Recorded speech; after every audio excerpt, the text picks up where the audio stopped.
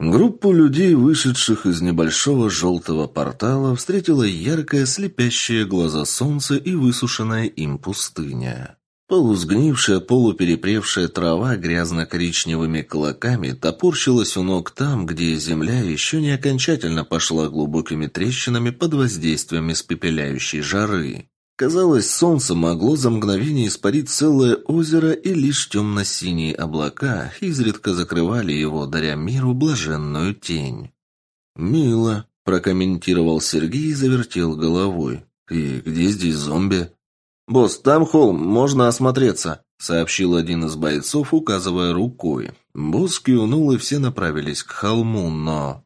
Ничего похожего на зомби или города поблизости не было. Немного подумав, босс решил идти на север. Где прохладнее? На севере. А значит, там должны быть поселения. Логика была железная, потому возражений не последовало, отряд смиренно двинулся в путь. Но чем больше они шли, тем меньше верилось в то, что когда-нибудь удастся достигнуть цели. Пустоши казались бескрайними и... мертвыми. Высохшее русло реки зияло рыжеватой бескрайней полосой в обрамлении таких же безжизненных бугров, бывших когда-то зелеными берегами. Сейчас в это было уже трудно поверить. Впереди, насколько хватало глаз, вздымались пустые, пологие холмы, на вершине одного из которых громоздилось что-то похожее на огромный самолет, такой же ржавый и истлевший, как все вокруг. Ветер гонял сухую колющую пыль, а лес, видневшийся на горизонте, даже отсюда представлялся мертвым, высушенной щеткой из безжизненных корявых стволов. Вот все, что люди подметили за те четыре часа, что находились в пути. «Разбиваем лагерь, четверо на охрану, четверо отдыхают и едят», заявил Сергей, остановив отряд посреди леса. Они уже час шли сквозь него, но ни зомби, ни животных так и не встретили. Большая часть деревьев была мертва, другие же гнили. Все это напоминало лес на блуждающем острове, только деревья не чернели из-за заразы, а попросту отмирали. У каждого в отряде было походное снаряжение. Оно было в виде браслета. Достаточно было указать на область, и там материализовывалась герметичная палатка с системой жизнеобеспечения, походная кухня, спальный мешок и кое-какие инструменты. Первыми на отдых был босс и еще трое человек. Оказавшись внутри палатки и дождавшись оповещения об очистке воздуха, мужчина скрыл шлем в корпусе брони и потянулся к рюкзаку. «Еще горячий», — радостно пробормотал голодный мужчина. В герметичной упаковке находился большой кусок мяса с картошкой, в другой — салат.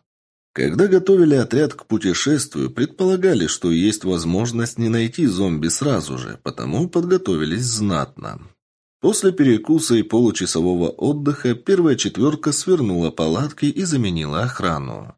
Бродя по окрестностям лагеря, Сергей внимательно изучал деревья, почву, местность. Почва не такая твердая, как на пустошах, даже, можно сказать, мягковатая, словно болотистая. Из-за герметичного шлема запаха не чувствовалось, но мужчина был уверен, что воняет здесь знатно. В руках у него была лучевая винтовка, за спиной лучевой меч, а с пояса свисал ручной сканер. Огнестрел решили не брать. Кто знает, вдруг простой выстрел устроит тут апокалипсис. В апокалипсис, конечно, никто не верил, а вот носить с собой боеприпасы было бы проблемно, а вот зарядить лучевую винтовку проще простого, да и запас энергоядер был приличный. «Босс, это жестоко. Там у нас столько красавиц, которые только и жаждут, когда к ним придут мужчины, а мы торчим на этой мертвой планете», — раздался расстроенный голос пироманьяка.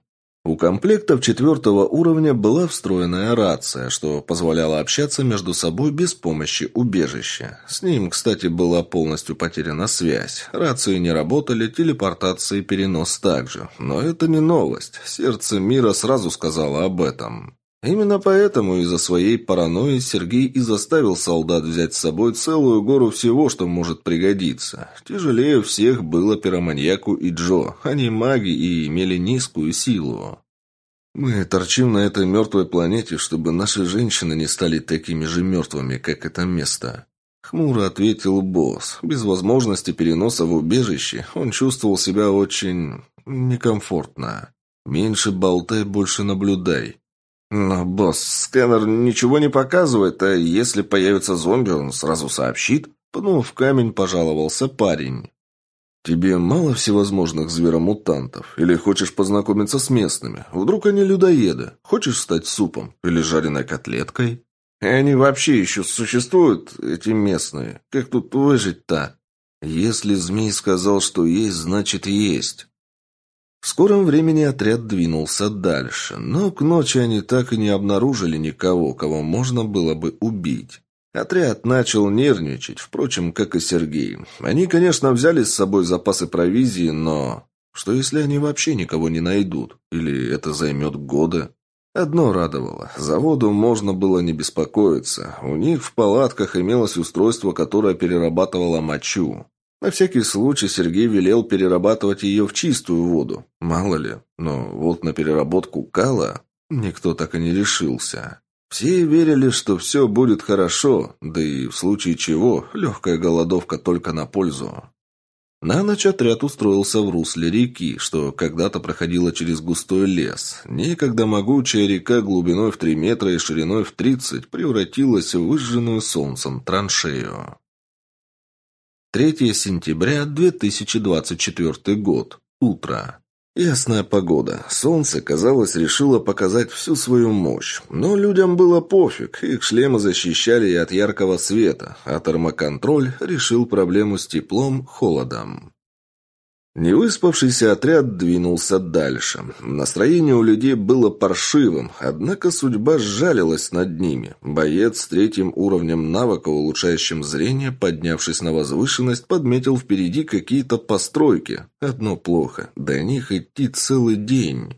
На своем пути люди иногда встречали металлические обломки или просто кучу ржавого металлолома. Понять, что это было тяжело, ибо оно рассыпалось как пепел при касании и даже, казалось, впитывалось в землю. После обеда отряд попал в пустынную местность. Выжженная пустошь плавно перешла в песчаные дюны. Если раньше можно было наблюдать гнилые и мертвые деревья, то сейчас песок и только песок. Благо в снаряжении был встроен компас, иначе люди попросту заблудились бы, куда ни глянь одинаковые холмы из песка. Ближе к вечеру началась песчаная буря. Видимость была нулевая, устанавливать лагерь отряд не решился, вдруг их погребет под песком. Хотя были бойцы, которые говорили, что такое маловероятно, ибо они вместе с Юбером успели и в пустыне повоевать, но все их доводы разбились об «это же другой мир». Впрочем, буря утихла через два часа, и отряд разбил лагерь. Опытные наемники не могли нахвалить походное снаряжение, оно даже от холода и жары защищало. «Всем внимание, слышу странные звуки», Громко сказал один из ночного дозора. Он мог бы даже орать, все равно его услышали бы лишь те, у кого есть рация, настроенная на его частоту. Один из бойцов побежал к палаткам и начал будить спящих. Для этого было достаточно нажать на кнопку с внешней стороны палатки, и внутри зазвучит сигнал. Но не успели бойцы собраться, как раздались выстрелы. «Вижу цель, веду огонь», – спокойно сказал боец, стреляя в темноту. «На, что там?» Спросил другой, который защищал северный участок лагеря. «Не вижу, темно слишком». Ночь была крайне темной из-за отсутствия луны, плюс погода стояла облачная и очень не хватало режима ночного зрения. «Юг чисто. Запад чисто. Что это хоть было?» «Явно не зомби. Сканер молчит. Зверомутант может, но особи не шибко крупные». Вскоре подоспел Сергей с тремя бойцами. Они оперативно свернули лагерь, благо это делается буквально за секунды. «Что здесь?» «Какое-то движение. Пальнул пару раз. Убил или нет, не скажу». «Если не получил опыта, значит не убил», — сказал босс, подойдя к бойцу. Ничего не было видно. «Отправляемся. Раз нас заметили, то ночевать здесь будет опасно. Кто знает, какие твари тут водятся. Утром устроим привал и поспите пару часов. «Да, босс».